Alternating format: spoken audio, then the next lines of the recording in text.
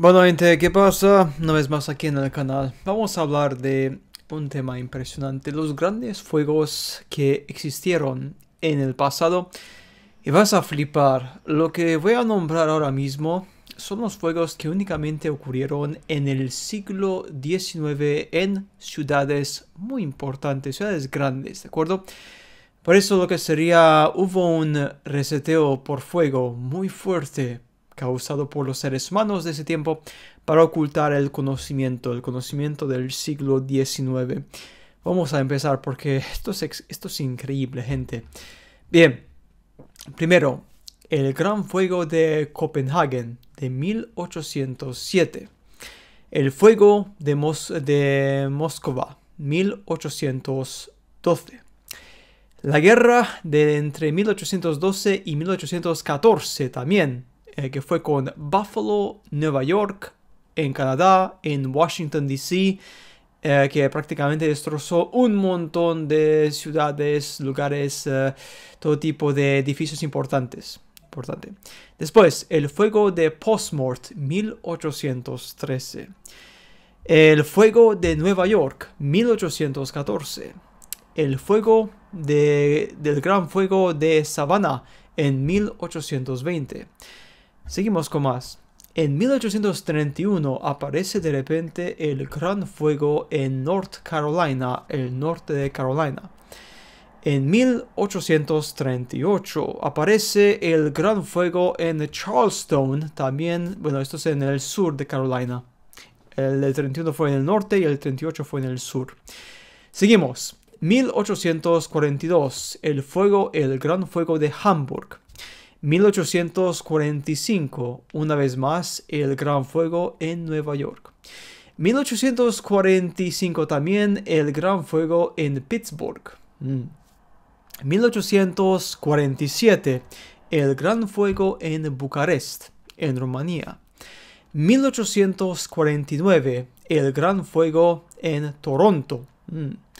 en Estados Unidos. 1850 el Gran Fuego en Krakow, Cracovia prácticamente, ¿no? Bien, que seguimos. En la República Checa. 1851, el Gran Fuego de San Francisco. 1852, el Gran Fuego de Montreal. Mm, también interesante. ¿Veis cómo todos los eh, núcleos importantes culturales del siglo XIX en eh, Estados Unidos, en Europa, Europa del Este, también Europa, algunas partes de Europa del Norte también, de repente fuegos irrumpen y destrozan conocimiento humano. 1854, el Gran Fuego de Newcastle en Inglaterra. 1862, el Gran Fuego una vez más en Nueva York. 1864, el Gran Fuego en Brisbane. 1861 a 1865, la Guerra Civil Americana. 1861, la guerra, perdón, el incendio de Charleston. 1864, el gran incendio de Atlanta y de Georgia. 1865, el gran incendio de Columbia y en South Carolina. 1865 también el gran incendio de Richmond. También ocurre. 1866, eh, el gran fuego de Portland. 1868, mm. el gran fuego en Bavaria. 1870, el gran fuego en, fuego en Ohio, en Medina. Y 1871, fuegos simultáneos en Wisconsin, Michigan e Illinois, ¿de acuerdo? Estos son únicamente los grandes fuegos, ¿de acuerdo? Hubo más pequeños, obviamente, en ciudades más pequeñas, pero esos son los grandes fuegos que dejaron prácticamente edificios completamente destrozados y en muchos casos edificios que culturales. El reseteo cultural, gente, esto es impresionante y la gente que no lo quiere ver, pues me parece muy bien. Es un tema muy sensible, muy fuerte. Eh, hay que tener lo que sería una mente bastante despierta para entender todo esto. En el siglo XVIII y XIX, XIX principalmente, hubo un caos total de fuegos en núcleos urbanos donde había conocimiento, arquitectura, libros históricos importantes y los destrozaron completamente, quedando obviamente el reseteo cultural. Un reseteo cuando tú eliminas documentos históricos importantes, ¿de acuerdo? Obviamente estás arrasando con una cultura de una forma pues ideológica. Pues imagínate, ¿dónde nos hemos ido? Prácticamente fuego constante, constante, constante en el siglo XIX. Esto no es coincidencia, para nada. Esto es el plan. En el siglo XIX, para prepararse para el siglo XX, cuando querían reintroducir los huérfanos también, que obviamente hubo reseteo cultural, reseteo físico, han matado a muchísima gente, edificios enterrados bajo tierra encontrados en Rusia, encontrados en Estados Unidos, encontrados en muchísimas partes, gran parte del continente europeo, del este también, ¿de acuerdo? Y de repente aparecen los trenes de los huérfanos que se vienen de la parte este de Europa la gran región, ¿de acuerdo? Que em, conlleva lo que sería la antigua Tartaria, Rusia, partes de Europa del Este, Europa del Sur también, algunas partes de Europa del Norte, ¿Y qué pasa? Estos trenes y barcos se van para la Europa Occidental y para Estados Unidos, para mano de obra barata, obviamente.